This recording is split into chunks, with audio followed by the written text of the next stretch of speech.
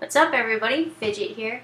Wanted to show you what I'm up to this past week. Uh, this past week went to New York City for a Kinect event to represent Your Shape Fitness Evolved where Microsoft brought in a whole bunch of different Kinect games and we kind of like demoed and uh, talked to press about the games that came out in 2011 and 2012. So uh, check out what I've been up to. I love the layout of the whole event so uh, I had to get some video footage so check it out.